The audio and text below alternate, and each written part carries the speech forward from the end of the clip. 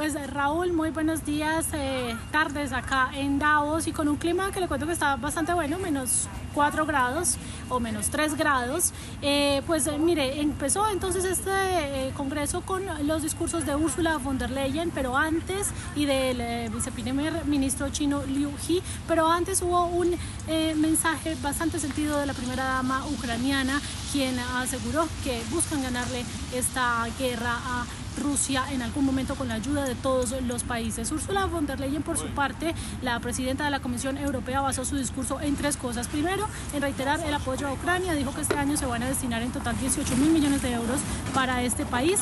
Eh, lo segundo, fue eh, su, eh, discurso estuvo dirigido a Rusia diciendo que eh, pues ya reemplazaron el 80% del gas que venía de este país, pero adicionalmente dio bastantes dardos a China, como usted lo decía, dijo que este país está subvencionando a las compañías para que se vayan hasta esta nación y consuman energía masivamente. Y esto pues está por supuesto debilitando los planes que tiene la Unión Europea para precisamente hacer esa transición energética. Entonces lo que dijo es que habrá un mensaje contundente para China en el caso de que siga haciendo o que siga mm, digamos, generando que las compañías se vayan para allá consumir más energía. Eh, China, por su parte, el eh, discurso del viceprimer ministro Liu He estuvo basado en eh, la economía en general, no hubo un mensaje directo de respuesta a Ursula von der Leyen, pero lo que sí dijo, en lugar de entregar un mensaje directo, lo que sí dijo es que necesitan inversión privada y que no quieren una economía de compañías controladas por el Estado y por eso es que precisamente se están entregando todas estas subvenciones.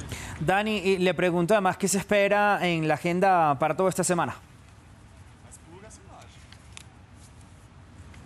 Pues Raúl, mire, hoy es el día de los grandes discursos, va a haber eh, unas conferencias con los principales eh, asistentes a esta conferencia. Por ejemplo, viene el presidente de Colombia, Gustavo Petro, quien va a liderar un panel sobre cambio climático y también eh, en el que va a hablar de la paz total en Colombia.